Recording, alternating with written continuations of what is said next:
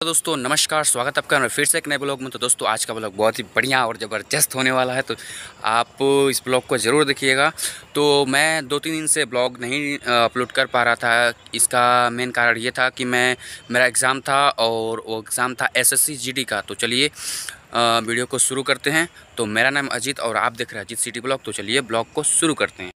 तो पहले आपको बता दें कि उस डॉक्यूमेंट में क्या क्या मैंने लेकर गया था और क्या मतलब प्रोसेस था, कैसे मतलब चेकिंग किया गया और क्या डॉक्यूमेंट लेकर गया गया था मैं, वो आपको सब कुछ बताऊँगा डिटेल में। तो सबसे पहले आप एडमिट कार्ड लेकर जाएँ और हालाँकि लोग बोल रहे थे कि रंगीन लेकर जाना है, कि सादा लेकर जाना तो आपको ये भी क्लियर कर दें कि एडमिट कार्ड चाहे सादा हो या रंगीन हो, दोनों में से कोई भी चल चलेगा। आपके ऊपर है, रंगीन निकालते हैं या सादा निकालते हैं। मतलब ऐसा कुछ भी नहीं, आप प्रिंट आउट जब निकलवाते हैं तो सादा भी निकलवा सकते हैं, रंगीन भी लिखवा सकते हैं। तो आपके ऊपर है, जो मतलब लेना, लेकर जाना चाहते हैं, वो आप ले जा सकते हैं। और एक बात, आधार कार्ड लेके जाना है मतलब जो भी आपका आईडी प्रूफ है, जैसे कि आधार कार्ड, पैन कार्ड, निर्वाचन कार्ड, जो भी आप तीनों में से कुछ भी, कोई कोई भी चीज़ लेकर जा सकते हैं। मैं तो आधार कार्ड लेकर गया था, आप आधार कार्ड देख सकते हैं, मेरे स्क्रीन पर चल रहा होगा। और मेरा एडमिट कार्ड था और आपको बता दें लोग बोल रहे थे फ़ोटो भी चेक होगा फ़ोटो नहीं। मैं दो फ़ोटो लेकर गया था आप ले कर जा सकते हैं बट कोई ज़रूरी भी नहीं है। आ, मैं लेकर गया था बट फ़ोटो का कोई मतलब आवश्यकता नहीं था।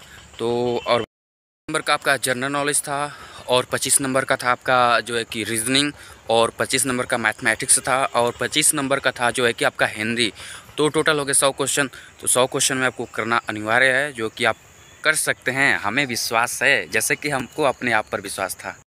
और आपको बता दें कि वहाँ पर चेकिंग कैसे हो रहा था? यहाँ से जाने के बाद आप जो है कि सबसे पहले आप वहाँ पर लाइन लगाएँगे। लाइन से लाइन वाइज लाइन मतलब आपको अंदर एंटर होगा और वहाँ पर चेकिंग होगा। चेकिंग का प्रोसेस ये होगा कि सबसे पहले आपका डॉक्यूमेंट चेक किया जाएगा, यानी कि आपका जो है कि स्कूल आप कंफर्म कर ले कि यही स्कूल है, यही सेंटर है और उसके बाद आधार कार्ड आपका चेक किया जाएगा और जो है कि आपका मतलब एडमिट कार्ड और वहाँ से जाने के बाद आपको पूरा मतलब पूरा बॉडी का चेकअप होगा। जैसे कि चेकअप मतलब वो नहीं मतलब आपको देखा जाएगा, आपका नकल चिट करने के लिए कुछ लेकर अंदर तो नहीं जा रहे हैं।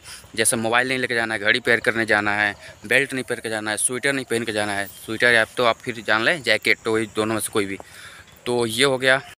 कमेंट में आपको वो डेट ऑफ़ बर्थ पूछा जाएगा, आप कहाँ से आए हैं, उस जगह का नाम पूछा जाएगा और और आपको पूछा जाएगा जैसे कि आपका मतलब जिस जगह से आए हैं, वहाँ का पिन कोड नंबर, ये हो गया।